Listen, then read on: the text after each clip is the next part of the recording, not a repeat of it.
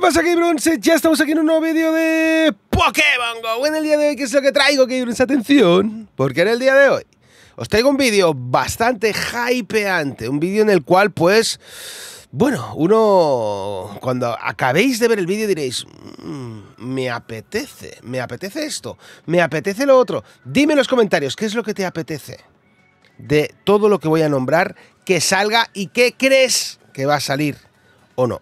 Porque voy a hablaros de los posibles debuts durante el evento de Halloween. Ya sabéis, uno de los momentos más esperados en Pokémon Go del año, sin dudas, es el evento de Halloween.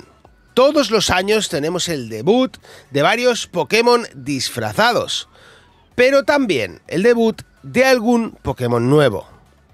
Teniendo en cuenta todos los Pokémon de tipo fantasma que aún no han salido en Pokémon Go, analicemos qué posibilidades tiene cada uno de ellos de debutar en el evento de Halloween de 2023.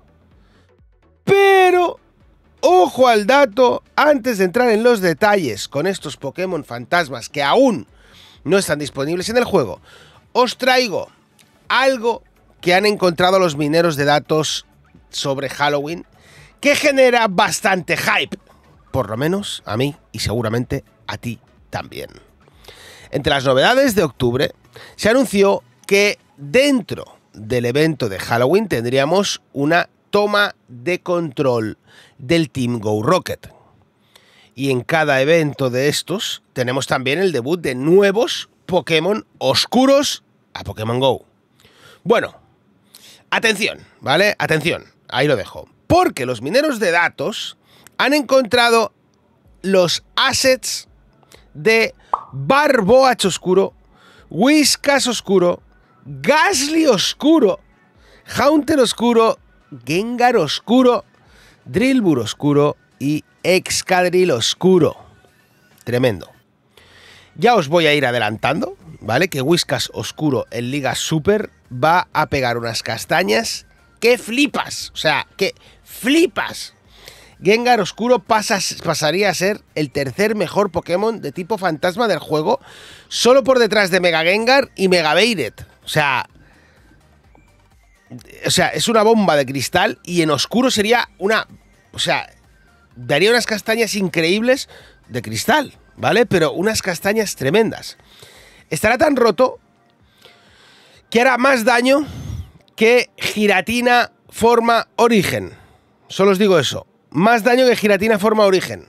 Además, por otro lado, Escadril Oscuro en Liga Master eh, perderá algo de, de, de, bulk, ¿vale? Por, bueno, mm, por ser oscuro, o sea, perderá un poco de, de, de, ser el tanque, un poco tanquecito, ¿vale? Pero, ojo al dato, pasará a ganar varios matchups, matchups que antes no ganaba.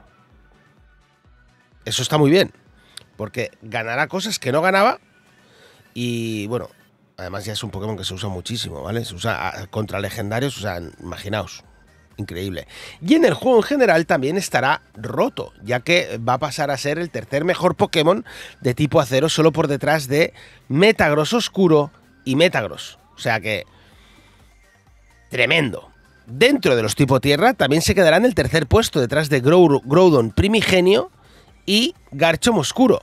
Estamos hablando de un pedazo de Pokémon. O sea, esto es de locos. O sea, yo os lo digo en serio, esto es de locos. Cuando pongan a estos por, por ahí, va a ser de locos.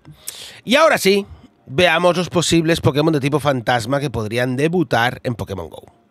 Empecemos por Corsola de Galar y su, evolución, que es Cursola. Eh, que para ser honesto, veo muy posibles que continúen siendo regionales como Corsola de Yoto, ¿vale? O sea que no creo. Por otro lado, tenemos a Sinistea y Poltergeist, ¿vale? Que son de la región de Galar. Y creo que Niantic se los guardará para cuando eh, debuten más Pokémon de la octava generación. ¿Vale? Opinión personal. También tenemos a Gribart y Houndstone, eh, que son los de la, bueno, son de la región de Paldea. Y todos los rumores y leaks indican a que ellos eh, van a ser los que debuten. Pero os traigo una teoría sobre otro Pokémon que también podría ser tenido en cuenta. Se trata nada más y nada menos de nuestro querido Mimikyu. Sí, Cabrons, Mimikyu. Este Pokémon de la región de Alola, muy querido por todos, viene haciéndose desear desde hace años. Y un dato importante es que, bueno, para este Halloween, The Pokémon Company anunció que habrá distribución de Mimikyu en Pokémon Escarlata y Púrpura, en el Pokémon Scarlet and Violet. Ahí está. Además, eh, también debutará Mimikyu en Pokémon Unite el próximo 19 de octubre. No es muy loco, no es muy loco pensar que Mimikyu también podría estar en Pokémon Go, ¿vale? Es como, bueno, están metiéndolo por todos los lados, ¿por qué no? ¿No? ¿Por qué no va a llegar también a Pokémon Go? No sé qué pensáis vosotros, a mí me fliparía, es un Pokémon que me encanta. Veremos a ver, veremos a ver. También tenemos a Del, Mais, ¿vale? Otro Pokémon de la región de Alola. Menos probable está también el. Bueno. Un Pokémon que es la caña en el VGC, ¿vale? En los juegos originales, ¿vale? Eh, Melanaleteo, ¿vale? Melanaleteo, Fluttermane eh, es uno de los Pokémon paradoja de la novena generación relacionado con Misdravus. Ahí está, no sé, estaría muy guapo, ¿vale? Porque Miss Drabus eh, sale en algún momento. En el anuncio que hice el otro día, por ejemplo, es uno de los Pokémon que, está ahí, en portada, ¿vale? De, de lo que viene ahí siendo esta investigación de pago que anunciamos.